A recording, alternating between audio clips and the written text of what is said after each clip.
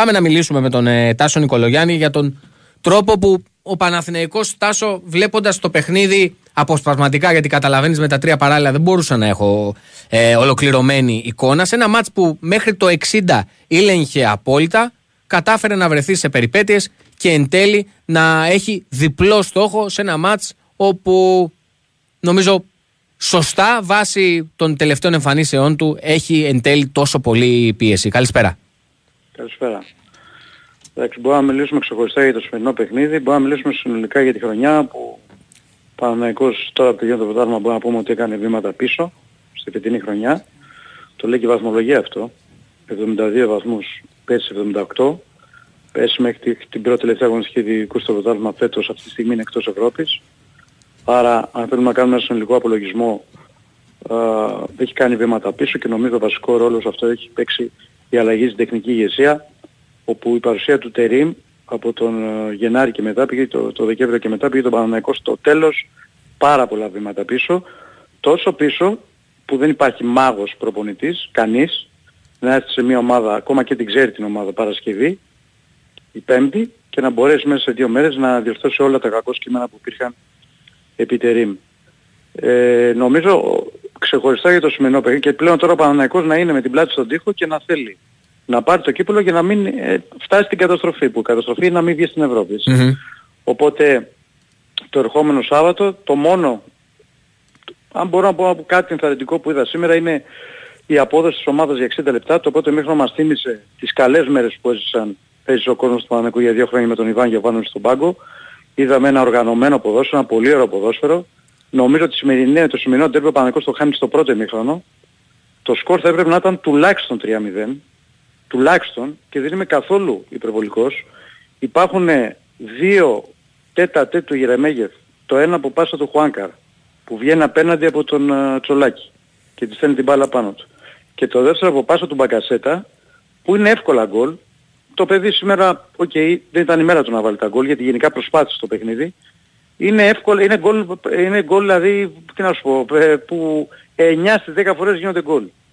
Το σκορ λοιπόν θα έπρεπε ήδη να ήταν 2-0 πριν φτάσουμε στο τέλος όπου ο Παναθηναϊκός ε, σκόραρε με τον Μπακασέτα με το πέναντι που κέρδισε ο Μαντσίνι. Γενικά ο Παναθηναϊκός στο πρώτο ημίχρονο ήταν πολύ ανώτερος και ο κόσμος πραγματικά χάρηκε και θυμήθηκε κάποια από τα παιχνίδια που είδα από αυτήν την ομάδα για 2,5 χρόνια.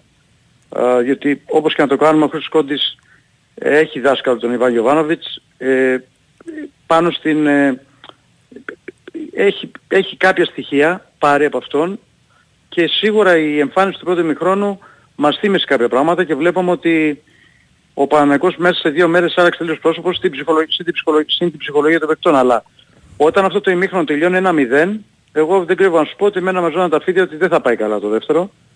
Α, διότι όταν είσαι τόσο, έχεις τόσες φάσεις, έχει το δοκάρι με τον Μπακασέτα έτσι, mm-hmm. έχει τόσες φάσεις και, δε, και βάζεις ένα γκολ, ε, λογικά ο αντίπαλος θα αντιδράσει. Και ο Ολυμπιακός θα αντιδράσει στο δεύτερο ημίχρονο. Εντάξει όμως στο δεύτερο ημίχρονο, δηλαδή, ναι, OK, okay, ο Ολυμπιακός πατάει καλύτερα, αλλά ακόμη και έτσι στο 60 σημειώνεις ένα δεύτερο γκολ. Και λες ότι εκεί που ο αντίπαλος βγαίνει, κάνει μια προσπάθεια εκεί, να λοιπόν, αντιδράσει, του βάζω ναι. ένα δεύτερο γκολ και είμαι στην έδρα μου, το κλειδώνω το ε, μάτς. Εκεί λοιπόν, εκεί λοιπόν μετά το 60 που γίνεται το 2-0 και που όλος ο κόσμος πιστεύει ότι ο Παναγικός θα κερδίσει, υπάρχουν οι αναγκαστικές αλλαγές του Χουάνκαρ και του Μπερνάρ που αποδιοργανώνουν τελείως τον Παναγικό, μα τελείως, γιατί ο Χουάνκαρ ήταν ίσως από τους καλύτερους παίκτες στο πρώτο ημίχρονο και θυμηθήκαμε τον Χουάνκαρ που βλέπαμε πρώτερη, γιατί πολύ απλά έπαιξε ο Παναγικός οργανωμένα και τον έβγαζε συνέχεια αριστερά μόνο του. Ο Μπερνάρ μπορεί να μην ήταν σε πολύ μεγάλη μέρα, αλλά ε, έβαλε το γκολ, έτσι. Η παρουσία του Βιλένα, το παιδί εντάξει δεν μπορεί να παίξει και δεν είναι εκεί θέση του εκεί, γιατί δεν υπήρχε άλλος παίκτης. Ίσως εκεί ο Χρυσκόντι θα έπρεπε να πάρει μια απόφαση να βάλει το Βαγιανίδη δεξιά και τον Κότσε αριστερά. Ταπεινή μου άποψη είναι αυτή, αλλά OK. Okay, ο Βέρμπιτς ε, Νομίζω ότι και μετά και τη σημερινή εμφάνιση καλό θα είναι να το, το καλοκαίρι να μας απαλλάξει την παρουσία του. Ήταν προκλητικά αρνητικός. Προκλητικά αρνητικός όμως. Δηλαδή μπήκε και πραγματικά αυτά που έκανε την ώρα που η ομάδα κεγόταν να πάρει κάποια πράγματα από αυτόν ήταν εκτός τόπου χρόνου και πραγματικότητας. Η αλλαγή του Ματσίνη δεν ξέρω πού οφείλεται. Mm-hmm. Άκουσα όμως τον Χρήστο Κόντι να λέει ότι ζήτησαν πολύ παίκτες ενοχλήσεις, οπότε πιθανολογώ ότι και αυτός κάποια ενόχληση είχε. Διότι ο Ματσίνη ήταν πολύ καλός. Ε, και ο Παναθηναϊκός μετά το 2-1, μετά το 2-0 μάλλον, φαινόταν ότι ο Ολυμπιακός πάταγε καλύτερα. Ο Ζέκα μπήκε, δεν βοήθησε καθόλου, μα καθόλου, ήταν εκτός αγώνα. Οπότε όταν έχεις βάλει, όταν έχεις μέσα το Ζέκα, το Βέρμπιτς που είναι εκτός αγώνα, ο Βιλένο που παίζει σε μια θέση που δεν είναι θέση του αυτή και ο Ολυμπιακός βάζει το Γιώβετιτς. Έχει το Ποντένσιο που πλέον απαλλάσσεται από το καλό μαρκάρισμα των, των ε, παικτών του Παναγικού στο πρωτομήχρονο. Έχει το 2-1 και από εκεί πέρα φαινόταν με βάση την εικόνα του αγώνα και επειδή οι παίκτες του Παναθηναϊκού πραγματικά ε, είχε, είχε μπει ο φόβος μέσα τους ότι κάποια στιγμή τον το, το γκολ Ολυμπιακός θα το βάλει και το έβαλε πάλι από σέντρα του Ποντένσε και κεφαλιά του Γιόβετιτς. Πέρα από το σημερινό παιχνίδι όμως, εγώ θέλω να πω κάτι το σημερινό παιχνίδι ήταν οριακό για να μπορέσει ο Παναθηναϊκός να πάρει, το, να πάρει την πρόκριση. OK, okay, είσαι 2-0, πρέπει να το κάνεις, παίζεις στην έδρα σου. Από εκεί πέρα όμως νομίζω ότι ο Παναθηναϊκός πληρώνει τη, τα τραγικά του αποτελέσματα στις τρεις προηγούμενες αγωνιστικές όπου δεν πήρε έναν βαθμό, δεν πήρε απλά ούτε μία νίκη με τον Άρη στη λεωφόρο. Mm, mm. Σήμερα κάνουμε άλλη κουβέντα. Ε, τον Πάο και την ΑΕΚ ε, και νομίζω ότι καταλήγει τέταρτος κάτι που φαινόταν ότι θα συμβεί μετά την ήττα από την ΑΕΚ που ήταν πολύ βαριά και που επηρέασε πολύ την ομάδα. Ε, τώρα, το Σάββατο υπάρχει ένα παιχνίδι το οποίο είναι όλα ή τίποτα. Όλα, ενώ, όταν λέω όλα εννοώ το κύπελο, έτσι. Το οποίο κύπελο δεν ε, σώνει καμία χρονιά.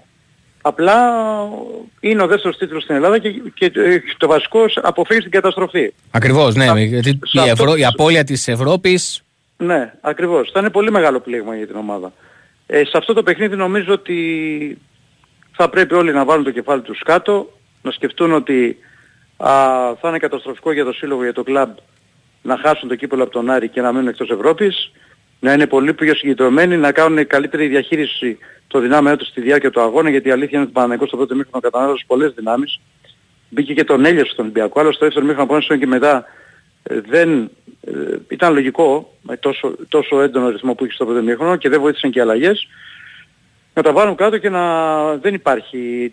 Το Σάββατο είναι υποχρέωση η κατάξυση του κυπέλου, τίποτα λιγότερο, ε, για να μπορέσει η ομάδα να βγει στην Ευρώπη, να πάρει το δεύτερο τίτλο στην Ελλάδα και να μην τελειώσει καταστροφικά τη χρονιά. Που στο πρωτάθλημα, αν θες την άποψή μου, αν θες μόνο για το πρωτάθλημα mm-hmm ε, την τελείωσε καταστροφικά. Έτσι. Ένας, ένας Παναθηναϊκός ενδυνάμει πρωταθλητής την περσινή σεζόν, το λέω ενδυνάμει διότι ρε παιδί μου χάθηκε στην πρώτη τελευταία αγωνιστική. Σωστά, σωστά. Ναι. Έφτασε φέτος με όλα αυτά που έγιναν και κυρίως ξαναλέω με την αλλαγή της τεχνικής ηγεσίας να είναι τέταρτος και να είναι εκτός Ευρώπης αυτή τη στιγμή.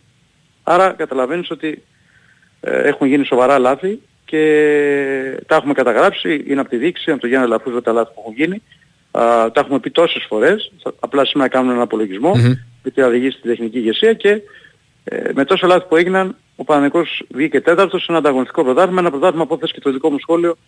Ο Πάουκ το παίρνει δίκαια διότι πιστεύω ότι ήταν η ομάδα που ε, έκανε πάρα πολύ καλά play-off. Καταρχάς μόνο που κερδίζεις τρεις φορές την έδρα σου ε, την ΑΕΚ, τον Ολυμπιακό ή τον Παναθηναϊκό ε, δεν είναι, είναι, είναι, είναι πολύ μεγάλο επίτευγμα αυτό ήταν μια ομάδα η οποία παρότι είχε το μικρότερο budget, είναι αυτό που λέμε, Γιάννη ότι τα budget δεν παίζουν μπάλα πολλές φορές. Είχε όμως έναν προπονητή τον οποίο τον ε, έχει στηρίξει, ε, τον έχει στηρίξει και στα δύσκολα, έναν προπονητή ο οποίος μπορεί να μας αρέσουν δηλώσεις που κάνει, αλλά σαν προπονητής δεν παίζεται. Πραγματικά είναι πολύ σπουδαίος προπονητής Λουτσέσκου και έφτασε να πάει να κάνει διπλό στο, στην έδρα του νέου αντιπάλου, του Άρη, που καταλαβαίνεις πόσο σημαντικό αυτό για τον Πάοκ. Οπότε μπορώ να πω ότι δίκαια παίρνει το, το πρωτάθλημα. Mm-hmm. Ωραία Τάσο. Σε ευχαριστώ πολύ. Έγινε Γιάννη.